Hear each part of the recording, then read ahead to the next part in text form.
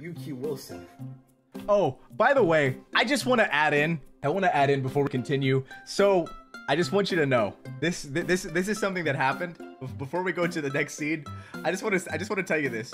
So when when I had this idea to do this, I, like it was it was very slight. Like I was like I don't really know how to how to do this, and it wasn't until like my friends started showing me like Harry Potter Puppet Pals that like the idea really came to life. But like when I had the idea, I was like, hmm, I don't know how this will work, but I'll I'll give it a try.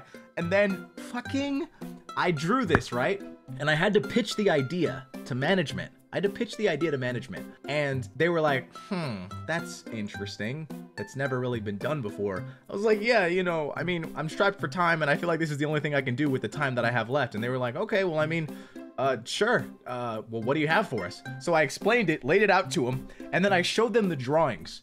I had, I mean, Japanese company. I had everyone in the office fucking howling.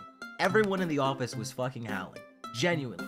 Genuinely you just like you know i'm sure that there are like you know japanese people of like varying ages and they're they're just fucking crying they're just like what the fuck like they're just laughing they're just like what what is this and they're like honestly this is gonna be great they're like this is gonna be great go for it so yeah it really worked out i love your content phantom please don't die i'll do my best Thank you. I'm glad you like it though. Oh gosh. Okay, I just wanted to say that before we continued.